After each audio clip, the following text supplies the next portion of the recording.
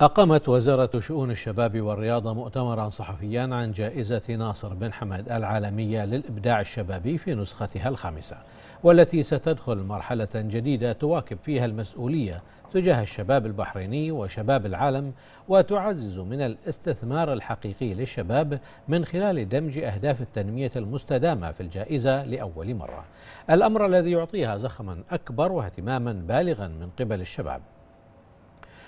وخلال المؤتمر تمت الإشارة إلى أنه تأخذ جائزة هذا العام أبعادا كبيرة ومشاركة واسعة تفوق النسخة الماضية نظرا لتوسيع قاعدة مجالات الجائزة لتفتح المجال أمام الشباب للابتكار بصورة أشمل بالإضافة إلى الصدى الإيجابي للجائزة على المستوى العالمي ورؤية الشباب لها باعتبارها جائزة متميزة تبرز نشاطاتهم وأفكارهم.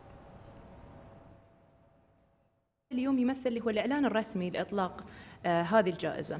آه وإحنا سعيدين اليوم آه نحن نتكلم عن هذه الجائزة وهي سنة في السنة الخامسة وهي تتضمن طبعا ست مجالات وهي التصميم المعماري عندنا اللي هو الرسم والتشكيل إنتاج الأفلام التصميم الجرافيكي التصوير الفوتوغرافي وأخيرا اللي هو الإبداع العلمي.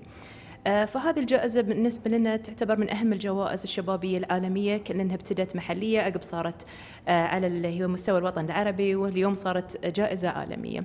فنتمنى طبعا من الشباب البحريني أنهم يشاركون في هذه الجائزة ويمثلون البحرين آه، أجمل تمثيل. من أهمية هذه الجائزة أن هي موسومة باسم صاحب السمو الشيخ ناصر بن حمد آل خليفة فهذه يعطي الجائزة أهمية كبيرة جدا.